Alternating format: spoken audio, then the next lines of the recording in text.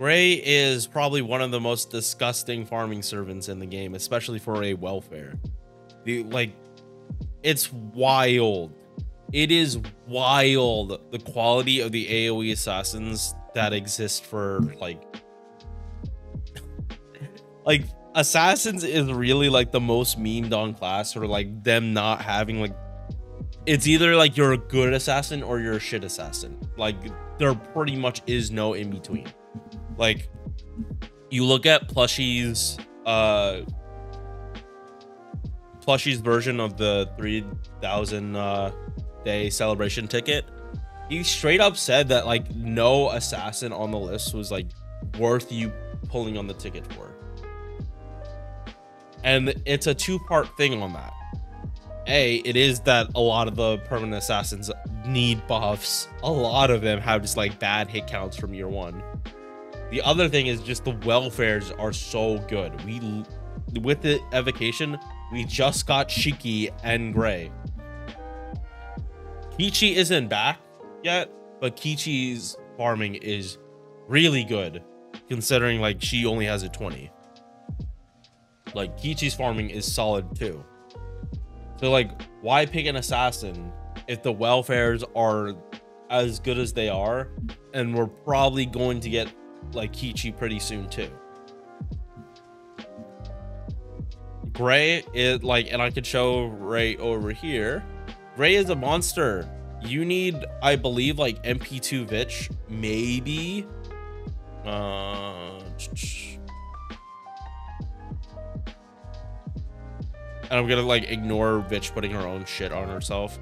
Um, because we're not doing power mods.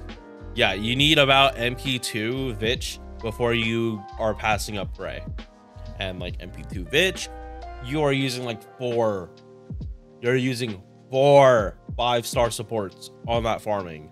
So mm, th that party cost is way high. That party cost is ridiculously high. Gray, her farming is really good. You can do the normal buster farming stuff. And if you want more damage, rail her. She scales very, very well if her base attack is high. If you 120 her, or not 120, if you get her to 100, you will see a vast improvement in damage.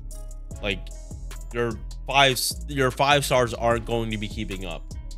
And if you could enable her power mod, which is a lot easier if you have Summer Wu Zetian, you'll be able to force it whenever you want instead of being pigeonholed into extremely specific niches eh, or or power mod only affecting the trash mobs on very specific enemy waves.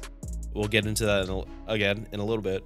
But yeah, Gray she scales off very well with base attack. If you want to grail her, it's not the worst thing in the world. It will probably save you a lot of headache in farming too.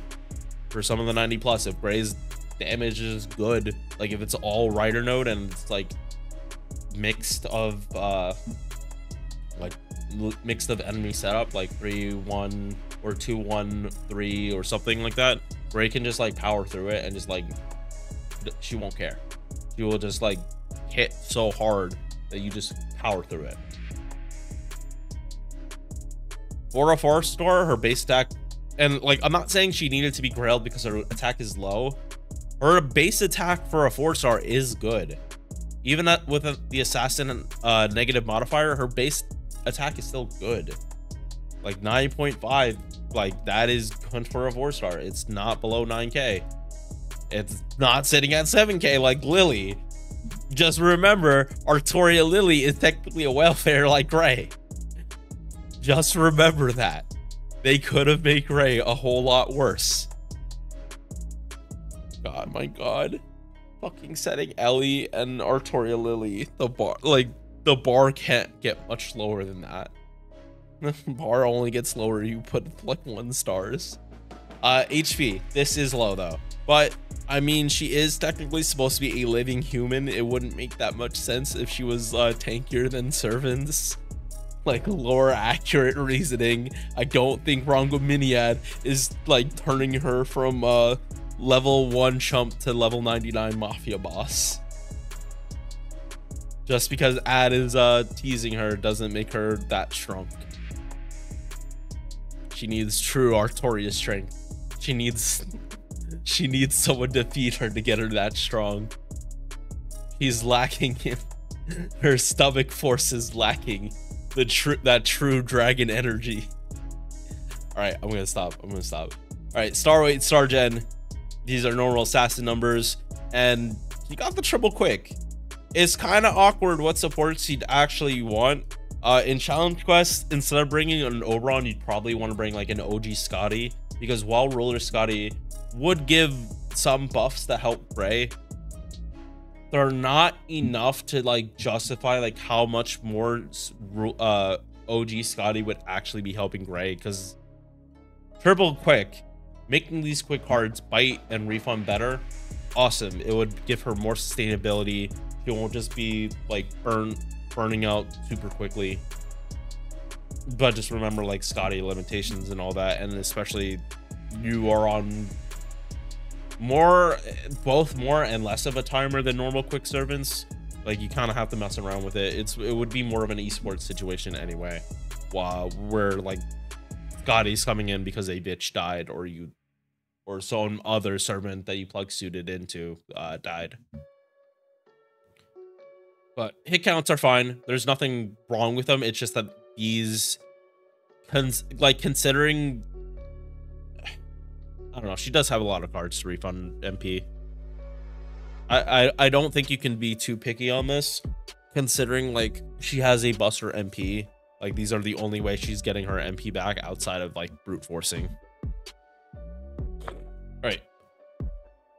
Again, this skill is discussing if you have Summer Wu. Because Summer Wu can turn any enemy you fight, including servants, undead. Servants are almost never undead, ever it's it would not make sense for a servant to be undead because they're not living bodies. They don't have actual bodies They're made of magic. How the fuck do you turn a servant into a zombie outside of uh, a Salem? I think Salem's the only time that this ever came up where you were fighting a servant that actually had it. Uh, also Shufu from Summer 8.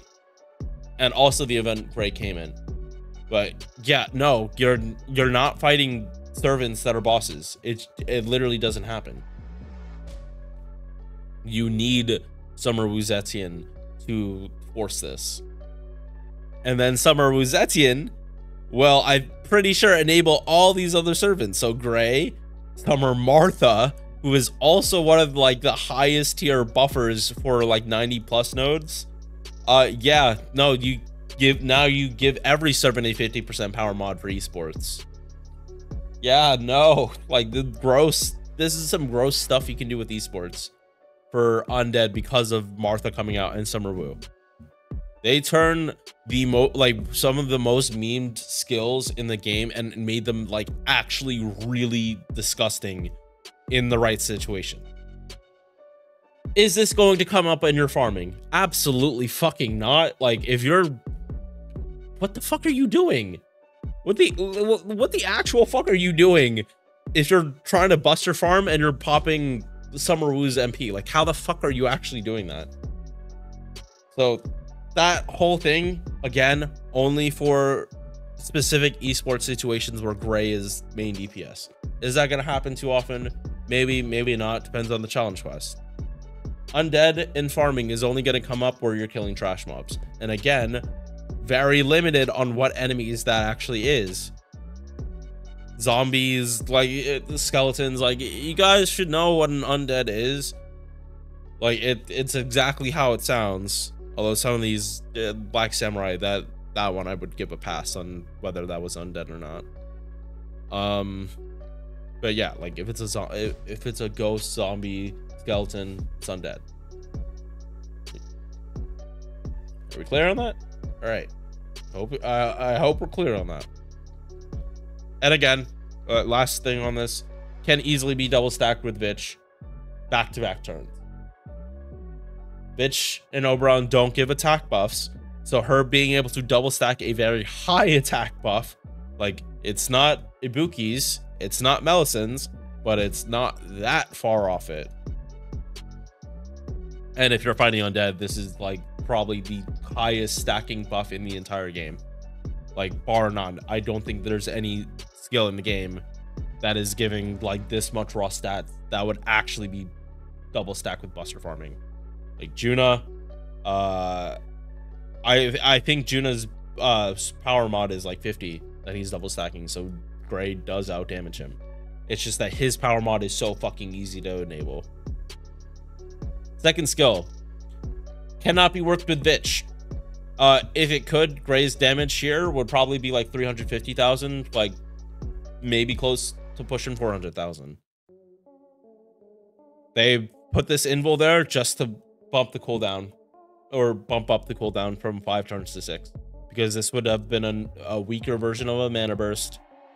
Uh, they would they would have put it on a five and then you could have just shotgunned it uh, where you're popping it back back turns with Vitch. They really wanted to like not let people do that. So that's why this is like this. Are they ever gonna buff this? I highly doubt it. If they buff it, they will make it three times, three turns. But even then, that is so pushing it. It's not even funny because that still can be abused by Vitch. If they buff Gray again, I would not expect it to be this skill. They would buff this one, which you don't technically need to level this. Although it is really cool thinking about how much debuff resistance Gray can have in a challenge quest. If you're double stacking this, that is 75% debuff resistance. Holy fucking shit. It is literally like pick one of four. It's a one in four chance that debuffs actually fucking land on you. One in four. Think about how many times you crit on an 80 no that's a terrible example because you you never crit on the 80% cards they always fucking fail but like it goes from like take off uh take almost uh oh my god it's goes from 20% debuff resistance which is like the normal average number uh like a one in five chance of you resisting uh a debuff and taking that to three in four chance of you resisting the debuff. It doesn't matter in farming whatsoever, but in challenge quests, you could do it. And in challenge quests, that's where Gray would see like most of her, of her kit like fully coming to life. But if you max this out, it does give you more options for the CE. The problem is the CE options to use with Gray are not good. She has one alternative to Super Scope, and you would need this. Uh, you would need this skill, Lord, and so would her mana loading. Okay, we'll talk about that in a second. Independent action A plus, 11% crit damage. She doesn't have any crit in her kit. Nice.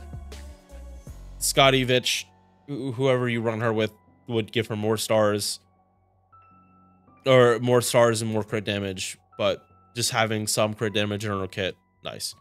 Again, the base state debuff resistance, which gets increased by this. Uh, and NP gen 10% if you use the other face cards. All the face cards except this one card. It's really good considering base number is nice and high.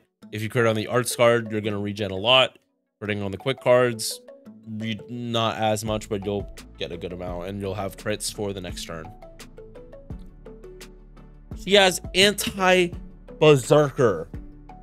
As if her as a general farming against farmer against lancers or riders wasn't already good, she hits berserkers even harder. When she's a buster servant that doesn't care about refund in the first place. This is just win harder button but mana loading is ease of use. You uh you unlock max unlock this and you don't need an MLBK scope.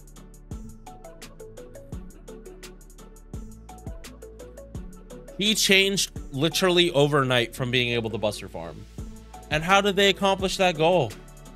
They gave her the Artoria effect. They literally put Rhongomyniad's no normal effects on the NP, and that was it. And that overnight, uh, like weaker version of it too, like just 10 instead of the 20. And overnight, she's like better. Overnight, she's like gets disgusting because now she's fully looping this NP. She's stacking this res down effect, so her NP will hit harder, and the follow up cards will refund and hit harder as well.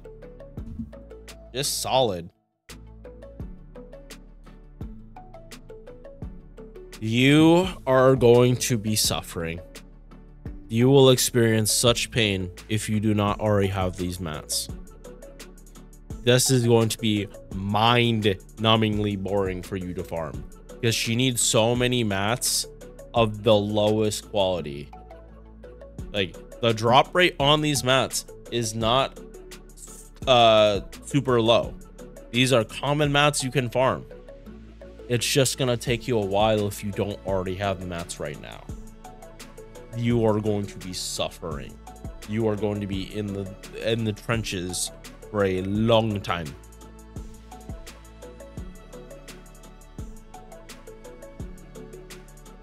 If they if you can equip a Bonsi in a normal CE and then you also or this just becomes a passive, she just gets free damage. She gets uh, this part gets doubled by Oberon, and this is even more free damage. It does it can't be double stacked with itch, but it's just more attack. It, it's just more.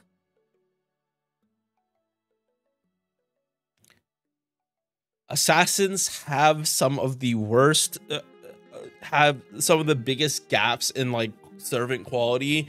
Like you have Oh, hold up.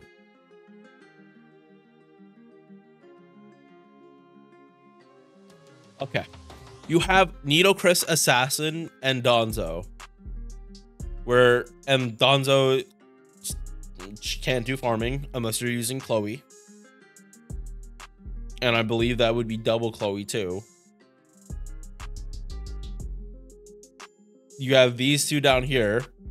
And then you have the Valks, who are the most disgusting arts assassin farmers and literally just piss on her. And then you come up here and you have Tezcatlipoca and Koyanskaya. They're not at the top, but they're definitely more used than these two. Their welfares are like some of the best. Summer Shisho is probably like the worst of all of the assassins and like she just got a buff. Or the what yeah the worst of the welfare assassins is probably summer shisho even with the buff. And even then she's not that bad. You kind of can brute force her farming. It's just like you're going through too many extra steps at that point. Like you are you are going the distance and basically buster farming with a quick servant at that point uh, but I mean, at least she's not a Stelfo. At least she's not a Stelfo trying to quick loop. That is actual buster farming on a quick servant. Huh. but yeah, if you do not have like NP2 plus of like other AoEs, like even then I would still recommend Gray. Like it sucks what she has to farm, but at least battery is not your main concern. With Buster farming, all Gray is really worried about for most of her damage is get this to six, because then you can double stack it. Once you're able to double stack this in your farming, you will have more damage. He technically is able to do Buster farming right out of the box. As long as she's level 80, she can already start doing Buster farming. But if you want to see like really good damage, like this level of oh, wrong tab. If you want to see this level of damage in your buster farming, which by itself, like her NP2, like her wave two damage is kind of more than you actually need in most farming. Her wave one damage honestly can be more than what you need. Like if you're talking like general farming, like you're farming like the dragon teeth, you need to level her Uh, that node, like I think the highest health enemy is like 120,000 rider, so she already hits it. Uh, probably pretty casually. And that's just like her turn one damage for her best setup is like more than what you need for that. Imagine her turn three. um, that yeah, Gray is great. Level her up. She will be. She is a good even type neutral farmer. Doesn't need to be riders. She just is best at fighting riders. All right, I will see you guys in the next one. Peace. Thank you for making it to the end of this video. If you enjoyed, drop a like or sub. Hope to see you in the next one. Peace.